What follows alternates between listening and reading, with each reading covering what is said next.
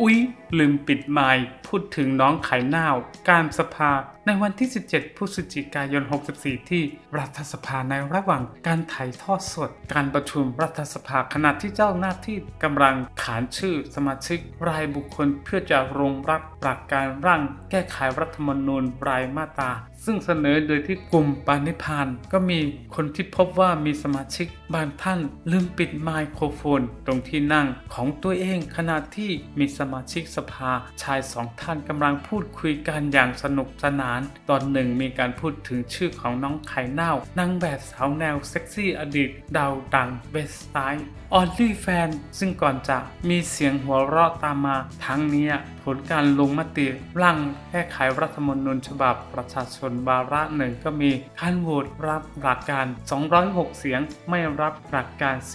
473 เสียง และก็งดออกเสียง 6 เสียง